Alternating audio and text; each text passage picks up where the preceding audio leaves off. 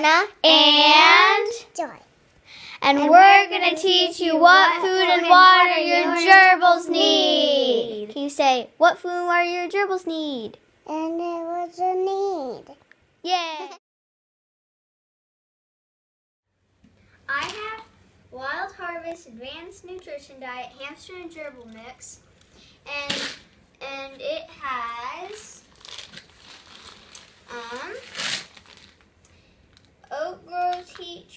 soybeans, wheat middlings, whole corn, dried alfalfa meal, wheat, ground corn, white millet, milo, dried split green peas, and more.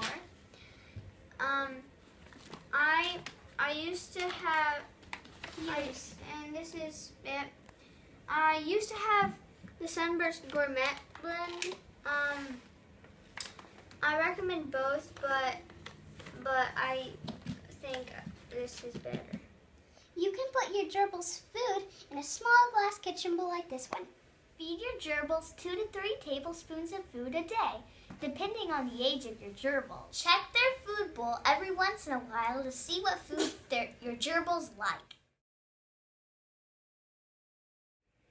Plastic water bottles are fine for gerbils because the pet stores don't sell anything else. My water bottle suction cups didn't hold well, so I duct taped my water bottle to the cage. Gerbils don't drink much, so you should refill their water bottle once a week.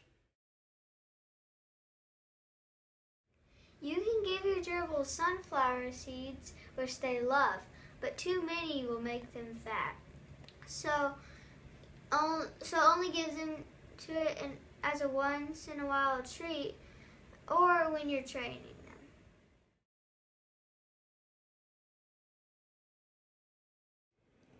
You can also give your gerbils seeds and nuts, Fresh vegetables and yummy, yummy fruits. We hope you learned a lot in our video. Please hit the like button.